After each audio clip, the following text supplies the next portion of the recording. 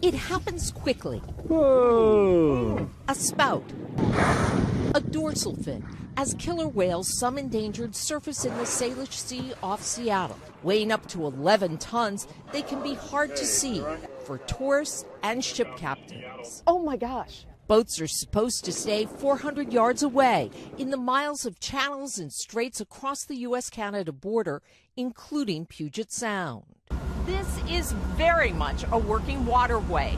Last year, some 300,000 commercial vessels traversed these waters, waters where 23 different species of whales, porpoises, and dolphins swim.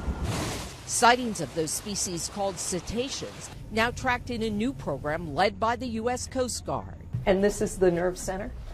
This is it.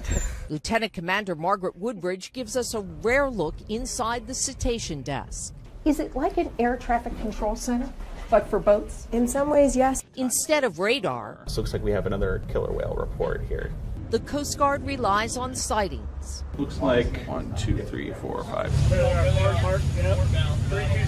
We're hoping to really tap into to all those eyes on the water and get that information into this, this database and alert system container ship MSC Savona. so that we can let that larger shipping traffic know um, when there are whales nearby. It's all done on apps. To see how it works, we take to the water with the Coast Guard. Senior Chief Jordan Galloway is our guide. Do you see whales every day when you're out? Not every day. Um, just depends on where we're patrolling and where they are. On the bridge of the cutter Adelie, the cetacean desk system is put to use. It was seen today at 10:20, 20, yeah, about 40 minutes ago. 40 minutes ago. That's where we're headed now. Yep, and there was, you know, multiple. So, about 30 minutes before that, right around 10 o'clock, you know, another killer whale was seen. Hey, fine. It's this Coast Guard Cutter Deli on one four. Uh, There is direct we called in the communication as well. You just got a call in from that white boat. What did they see? Yes, ma'am. This this boat up here just reported that there was killer whales sighted off their port bow about five minutes ago. And how close are we to where they saw them? We're about a half a mile out now from where they spotted the whales.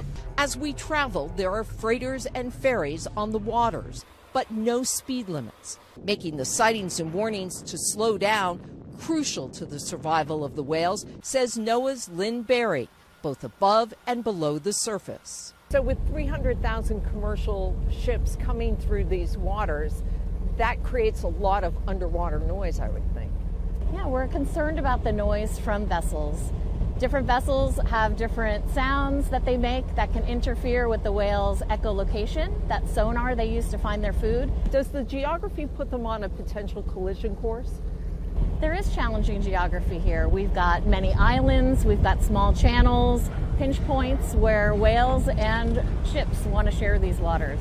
And all the vessels, large or small, are supposed to keep their distance, enforced here by the Coast Guard. Hey, how's it going? Good.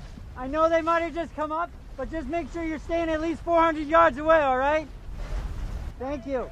So, what you see here, those are killer whales. And there are two different kinds in these waters. One is an endangered species, that is the southern resident orca, and there are just 74 left. Swimming together in pods, searching for their diminishing prey, Chinook salmon. The orca's dwindling numbers similar to the North Atlantic right whales on the east coast we told you about last year. Is that a calf? Yes, it is. That calf is one of five right whales reported dead this year. Two from vessel strikes, one caught in fishing gear. Sighting programs are good, says Oceana's Gib Brogan, but not enough. So, what needs to be done? We need strong regulations that are put in place to slow the boats down in places where the whales are present, and then we need to enforce those. A proposal to expand mandatory speed zones on the East Coast awaits White House approval. While in these waters, officials tried to chart a new course. We have a pod of about seven or eight orcas traveling southbound. that could be used to save the whales in the Pacific and Atlantic. Anne Thompson, NBC News, Seattle.